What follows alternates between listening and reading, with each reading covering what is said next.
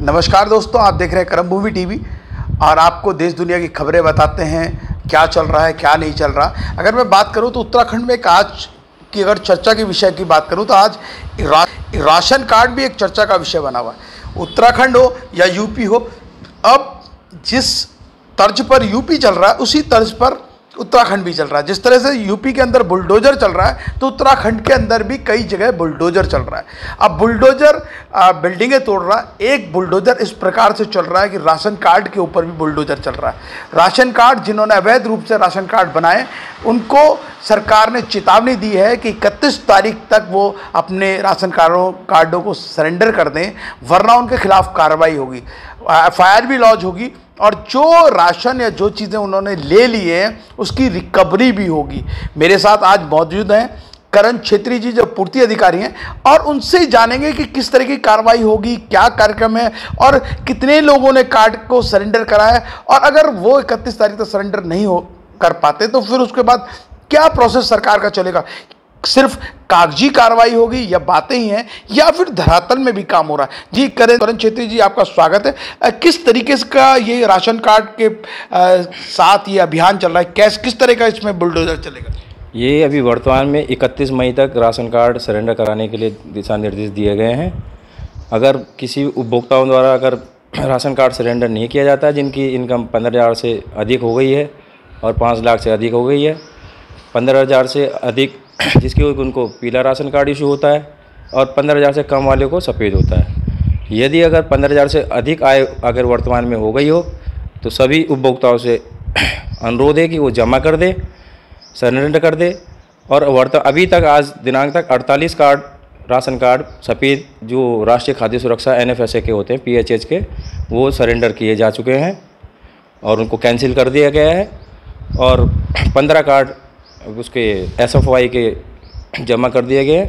उनको निरस्त करके निरस्तीकरण प्रमाण पत्र जमा कर सारे लोगों के बीपीएल कार्ड बने हुए हैं। बीपीएल कार्ड की बात बहुत ज़्यादा पहले भी उत्तराखंड में चर्चा में रही है और जगह रहते हैं। बहुत अच्छे अच्छे लोग जिनको जिनके पास घर मकान दुकान गाड़ी घोड़ा सब है वो भी बीपीएल कार्ड का मज़ा ले रहे हैं। तो कोई मॉनिटरिंग कमेटी बनेगी जिससे कि जाँच होगी ये इकतीस मई के बाद जहाँ सत्यापन कार्य शुरू होगा इस ऐसे ही उसमें जो राशन कार्ड नज़र में आएँगे उनके खिलाफ आवश्यक कार्रवाई की जाएगी और वसूली की कार्रवाई भी की जाएगी। मंत्री जो कह रहे हैं कि एफआईआर भी लॉज हो सकती है। एफआईआर भी होगी।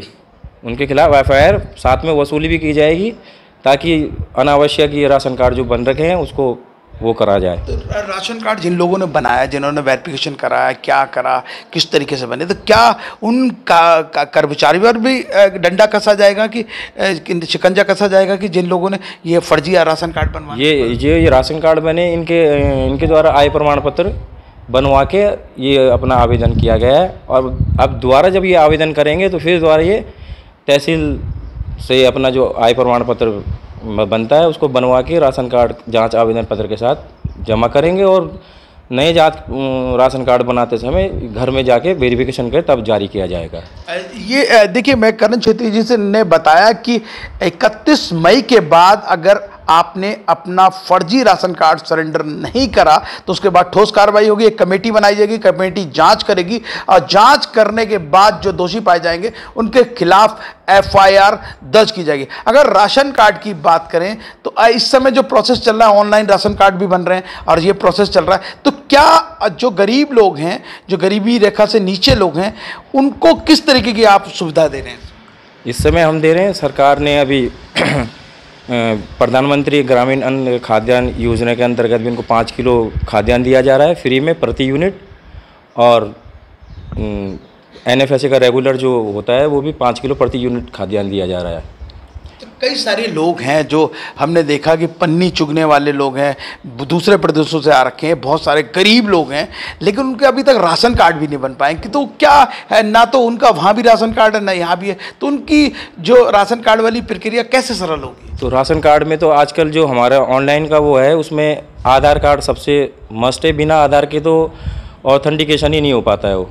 जब आधार कार्ड होगा तो ration card Aadhaar card voter ID या उसमें पैन कार्ड आधार कार्ड के साथ पैन कार्ड या वोटर आईडी उसका यहाँ पे जो रेजिडेंस का है उसका निवास का स्थान प्रूफ चाहिए और बैंक खाता चाहिए उसमें गैस की वो भी चाहिए अगर ये नहीं भी है तो अपना राशन कार्ड ये नहीं है तो नहीं नहीं दे सकता तो खा खाता तो चाहिए ही चाहिए और आधार आधार बिल्कुल मस्ट है। अब जिस तरीके से राशन आ रहा है दालें आ रही हैं चावल आ रहे हैं अब कैरोसिन पहले आता था अब कैरोसिन बिल्कुल बंद हो गया। कैरोसिन बिल्कुल बंद हो गया क्या है मामला?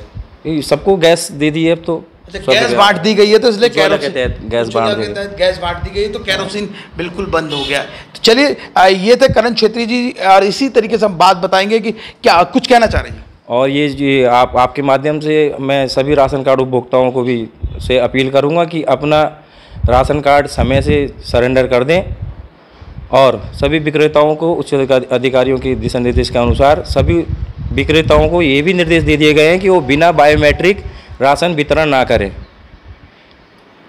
वो ऑथेंटिकेशन करवा लें। अगर कोई विक्रेता राशन राशन कार्ड के माध्यम से भी बांटेगा तो उसके खिलाफ भी आवश्यक कार्रवाई की जाएगी। चलिए, ये देखिए, बहुत शानदार बात करिए कि ये जो ग्रेन डीलर जिसे कहते हैं, राशन की जो दुकान होती है, वो अगर वो भी अवैध रूप से अगर इस तरीके से राशन बांटते हुए नज़र आएँगे उन पर भी कार्रवाई होगी। और आपको हिदायत दी गई है, एक निवेदन भी करा गया है कि 31 तारीख से पहले आप अपना, अगर आपका, आप उस मानक में नहीं आते हैं तो अपना राशन कार्ड सरेंडर कर दें।